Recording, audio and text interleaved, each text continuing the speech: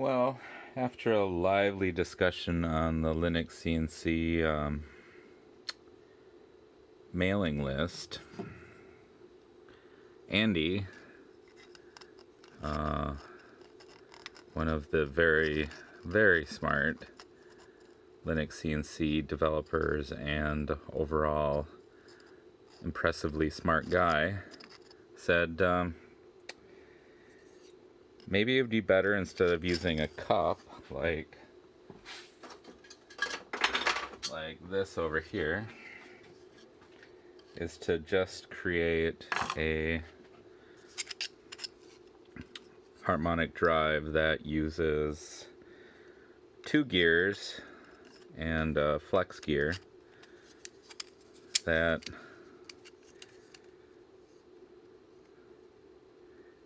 doesn't use the flex cup. So now you're only flexing this a little bit. So how it works is, so this gear is 200 teeth, the way I made it. One of these rings is 202, which gives you the 100 to 1 gear reduction. And the other one is 200 teeth. So then what happens is the 200 tooth one just rides along and doesn't actually move, while the 202 tooth one actually does the harmonic drive thing. So, show you here. I can put this together without on camera. Alright, so this is the 100 tooth one, or 200 tooth one. And this one is the 202. So this is the one that moves. So, see? I'll turn around so I can do it right-handed. See the marks? See how it engages here and here? Now, when I turn this,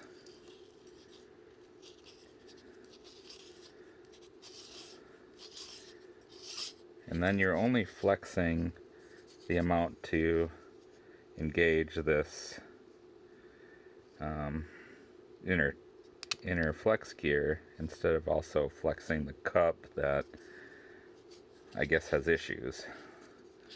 So we run it back. So this is 100 to 1 gear reduction. Should have put like a little finger hole in this. It's really smooth and I grab a hold of this and try to shift it, it's impressively stiff. So again, what I'd like to do is create a metal frame to mount this stuff into test. And uh, see how that would work for a fourth axis. Uh, most people are saying that this will fatigue really quickly. I don't know I mean, I think most people that make these make them pretty coarse. Like, let me see how coarse this one is. This was the first try. And so these have to flex quite a bit to get them to harmonic. Is that a word? Is that a verb? Oops. Dropped that one. So, yeah.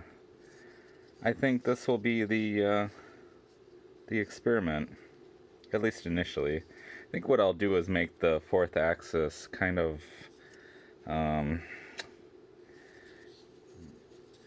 flexible so that I can try different things. It's probably going to be like an open frame for now, so I can um, try different settings and see how it works, try different layouts. What I did buy, what I thought I'd try is um, a like a wheel bearing cartridge you know like what you'd have in a front end of a say Ford pickup truck. And I think that would work good as the nose bearing because you can preload it. Doesn't have to be perfect for what I'm doing. I mean I'm not going for tenths of a degree or tenths of a thousandths but I don't know. What do you guys think again this is pretty amazing. I love how this, I mean, the little monoprice mini that I have prints pretty good.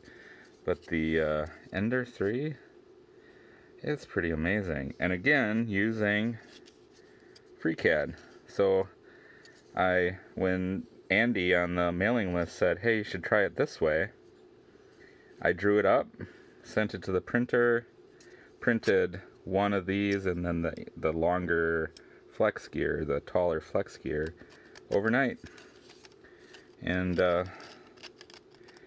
it uh, was just finishing up printing when I got up in the morning. So it's kind of cool. You can kind of create things while you're sleeping.